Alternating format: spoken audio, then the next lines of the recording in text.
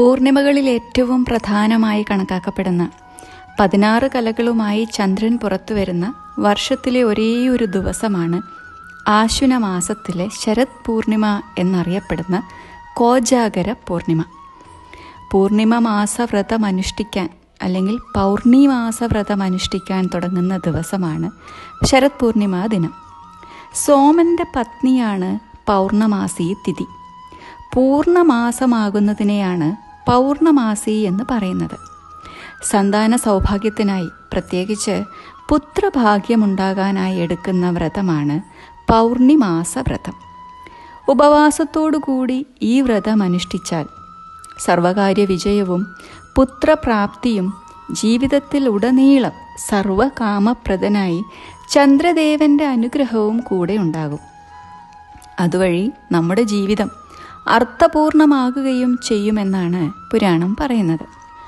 നമ്മുടെ ദുഃഖ ദുരിതങ്ങളെല്ലാം മാറാനായി അന്നേ ദിനം നമുക്ക് ചെയ്യാവുന്ന മറ്റൊരു പരിഹാരമാണ് ഈ പൗർണമി ദിനത്തിൽ നദിയിൽ കുളിച്ച് പിതൃദേവതർപ്പണം ചെയ്ത് ഒരു വട്ടം വരച്ചിട്ട് അതിനുള്ളിൽ നക്ഷത്രങ്ങളെയും ചന്ദ്രനെയും വരച്ച് വെളുത്ത പുഷ്പം വെളുത്ത വസ്ത്രം എന്നിവ കൊണ്ട് പൂജിക്കുക ക്ഷമാപണം ചെയ്യുക.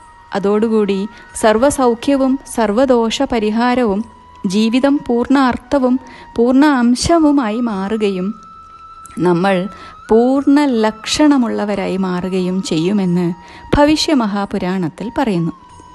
എങ്ങനെയാണ് ഈ പൗർണമാസി എന്ന പേര് വന്നത് എന്നൊരു കഥ കൂടിയുണ്ട്. സോമനും ദേവന്മാരും തമ്മിൽ ഭയങ്കരമായ ഒരു യുദ്ധം നടക്കും. പ്രജാപതിയുടെ പുത്രിയായ താരയിൽ ചന്ദ്രൻ ആസൻ ആസക്തനായതിനാലാണ് ഈ മഹായുദ്ധം നടക്കുന്നത്. ദേ ദേവന്മാരെയെല്ലാം മഞ്ഞു പെയ്യിച്ചുകൊണ്ട് ചന്ദ്രൻ തോൽപ്പിക്കുകയും വിജയം കൈവരിച്ച് അഗ്നി പോലെ തിളങ്ങി നിൽക്കുകയും ചെയ്യും. അതോടുകൂടി ദേവന്മാരെല്ലാവരും വിഷ്ണു ഭഗവാനെ അഭയം പ്രാപിക്കും. ഭഗവാൻ അവസാനം ഒരു തീർപ്പ് കൽപ്പിക്കുകയാണ്. അതായത് കറുത്ത ചതുർദശിയും വാവും വരുന്ന ദിവസം ചന്ദ്രൻ നഷ്ടപ്പെടും. വീണ്ടും പുനർജനിച്ച് അപൂർണ കലയോടുകൂടി ഉദിച്ച് പൂർണ അഭിവൃദ്ധി നേടും. എന്നാൽ കൃഷ്ണപക്ഷത്തിൽ ഈ അഭിവൃദ്ധി ഉണ്ടാവില്ല. കൂടാതെ ബ്രാഹ്മണരാൽ കൽപ്പിക്ക നൽകപ്പെടുന്ന ഹോമകവ്യങ്ങളും പിതൃപിണ്ഡങ്ങളുമൊക്കെ ചന്ദ്രൻ ദേവന്മാർക്ക് എത്തിച്ചു കൊടുക്കുകയും വേണം. പിന്നീട് ഇതെല്ലാം സമ്മതിച്ച് ചന്ദ്രൻ താരയെ ബൃഹസ്പതിക്ക് തിരിച്ചു കൊടുക്കും. അന്നേരം ഗർഭവതിയായിരുന്ന താര തന്റെ ഗർഭത്തെ അവിടെ ഉപേക്ഷിക്കും. അങ്ങനെ അതീവ ശോഭയോടെ സർവജ്ഞനായ ബുധൻ ജനിക്കുകയും ചെയ്യും. സന്തോഷത്തോടുകൂടി തന്റെ കുഞ്ഞിനെ കൂട്ടി വിജയശ്രീ ലാളിതനായി ചന്ദ്രൻ തിരിച്ചു ചെല്ലും. അങ്ങനെ പുത്രപ്രാപ്തിയാൽ സന്തുഷ്ടനായതിനാൽ വിജയം കൈവരിച്ചതിനാൽ പൗർണമി എന്ന പൗർണമാസി എന്ന പേര് ലഭിച്ചു എന്നാണ്. അങ്ങനെ ആ തിഥി സോമന്റെ ദേവതയുമായി മാറുകയാണ്. പുത്രപ്രാപ്തിയും വിജയവും നേടാൻ സാധിച്ചതിനാൽ തന്നെ ചന്ദ്രദേവൻ ആരൊക്കെ അന്നേ ദിനം വ്രതം ആചരിക്കുന്നോ ചന്ദ്രദേവനെ പൂജിക്കുന്നോ അവർക്കൊക്കെ പുത്രപൗത്ര സൗഭാഗ്യങ്ങളുണ്ടാകുമെന്നും സർവപാപ നിർമുക്തനായി ചന്ദ്രനെ പോലെ സ്വർഗത്തിൽ ശോഭിക്കുക എന്നുമുള്ള വരം നൽകുകയും ചെയ്തു. സന്താന സൗഭാഗ്യം ആഗ്രഹിക്കുന്നവർ നിശ്ചയമായും ഈ വ്രതം അനുഷ്ഠിച്ചാൽ അതിനുള്ള ഫലം ലഭിക്കുന്നതായിരിക്കും. എല്ലാ മാസവും ഈ വ്രതം ആവർത്തിക്കുകയും ചെയ്യാം. ഇനി രണ്ടാമതായി ധനം ആഗ്രഹിക്കുന്നവർ ഈ ശരത് പൂർണിമയിൽ എന്താണ് ചെയ്യേണ്ടത് എന്ന് നാരദീയ മഹാപുരാണത്തിൽ വിവരിച്ചിട്ടുണ്ട്. അതായത് ഉപവാസം അനുഷ്ഠിച്ചുകൊണ്ട് ലക്ഷ്മി പൂജ ചെയ്യാനുള്ള ദിനമാണ് കോജകരം എന്ന ഈ ശരത് പൂർണിമ ലക്ഷ്മി ദേവിയെ പൂജിച്ചതിന് ശേഷം ചന്ദ്രൻ ഉദിച്ചു കഴിയുമ്പോൾ മൺചിരാതിൽ ദീപം കൊളുത്തണം. ദീപങ്ങളുടെ എണ്ണം എന്ന് പറയുന്നത് അവരവരുടെ കഴിവിനനുസരിച്ച് എത്രയും ആവാം പത്തോ അമ്പതോ നൂറോ ആയിരോ ലക്ഷക്കണക്കിനുമാവാം. അതിനുശേഷം രാത്രിയുടെ ഒരു യാമം കഴിയുന്ന സമയത്ത് നെയ്യും പഞ്ചസാരയും ചേർത്ത പായസം പല പല പാത്രങ്ങളിലാക്കി നിലാവത്ത് കൊണ്ടുപോയി വെച്ച് ലക്ഷ്മി ദേവിക്ക് നിവേദിക്കണം. നാമം ജപിച്ചുകൊണ്ട് ആ നിലാവ് ആസ്വദിച്ചുകൊണ്ട് ഉറങ്ങാതെ ഇരിക്കുകയും വേണം.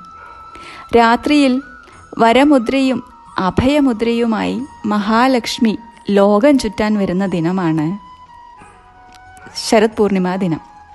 ആ സമയത്ത് ദേവി ആരൊക്കെ ഉണർന്നിരിക്കുന്നോ അവർക്കെല്ലാം വളരെ സന്തോഷത്തോടു കൂടി ഐശ്വര്യം ദാനം ചെയ്യുമെന്നാണ്. അവർക്കെല്ലാം തന്നെ ഇഷ്ടം പോലെ ധനം ലഭിക്കുന്നതുമായിരിക്കും.